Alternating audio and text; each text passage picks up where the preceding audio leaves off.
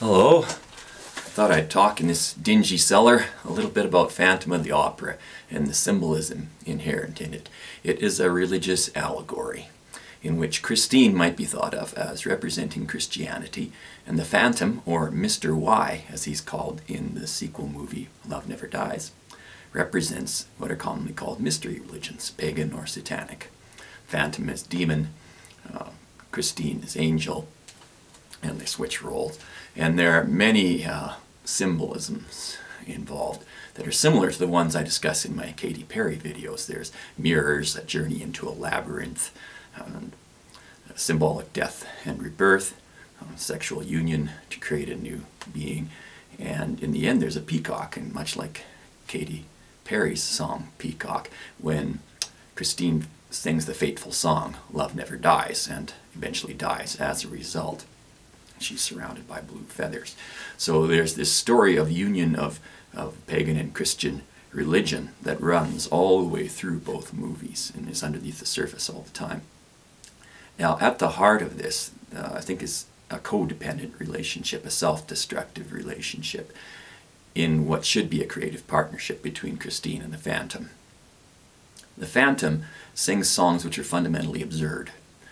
Music of the Night is a song sung by a guy singing about how he can't sing, even as he sings it. he has composed the song, obviously, and sings it to Christine, and at the end asks for her help in creating the music of the night after he has already created it. So he can sing, apparently, and the Phantom song itself is even more illustrative of this. He the song Phantom of the Opera is never sung completely by the Phantom of the Opera. And if he is such a wonderful teacher, why can't he teach himself to sing the song and just sing it himself?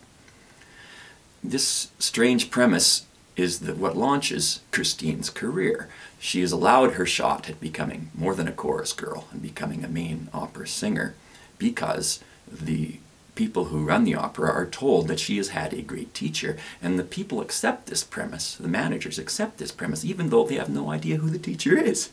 So they're manipulated by two things, a claim of authority and utter secrecy. They have no proof that the Phantom is a good teacher, and he doesn't really demonstrate any proof that he's a good teacher because he does not teach himself his relationship with Christine is based on hiding his own abilities as a singer, not only from society at large, but from himself, denying his own creative ability and his own talent to a certain degree.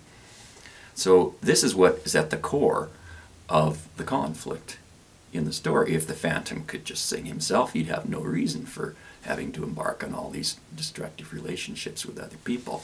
And we can see this being enacted on a grand scale all throughout the world today. Of course, there are these, these attempts to manipulate people by getting them to join these, these religions which are um, corrupting people's potential for creativity. And I think for to have be a healthy person, you have to have a creative outlet, and also, of course, a means of sharing it with someone. That's where the problem arises, because when people get together in groups, they're afraid of being more creative than the person next to them and somehow being targeted, much like the, the Phantom gets to be, and persecuted because of it. So we have to look today, I think, for a partnership and, and ways to uh, become less afraid of being creative and to have some means of expressing ourselves which uh, don't rely on inhibition and simple animal desire and enactments of, of dark impulses. So that's about all I can think of at the moment.